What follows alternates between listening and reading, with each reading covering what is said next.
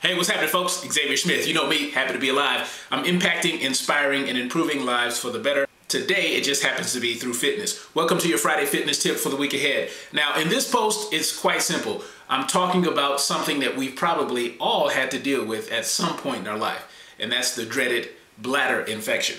Okay, so in this post is a real simple post. It can't get any simpler than this. Honey and cinnamon. That's what we've been talking about for the last couple of weeks now.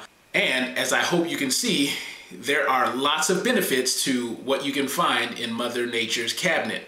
All right, so I'm talking about honey and cinnamon. Read the post down below, get into it. If you uh, need to catch up on it, make sure you click some of the links to, that will take you to the previous post about honey and cinnamon. And uh, we're almost done with this series, so I hope that you enjoy it. Comment, like it, share it, do whatever you need to do. Let me know if you like it. All right? That's your Friday fitness tip for the week ahead. I'm Xavier Smith. Thank you for watching.